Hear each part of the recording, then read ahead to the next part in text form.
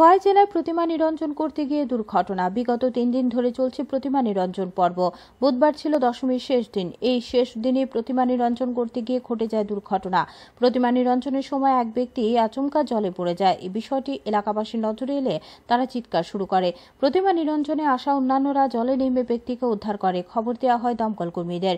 দমকল কর্মীরা ছুটে গিয়ে ব্যক্তিকে উদ্ধার করে খোয়াই জেলা হাসপাতালে নিয়ে যায়। বর্তমানে খোয়াই জেলা হাসপাতালে চিকিৎসাধীন।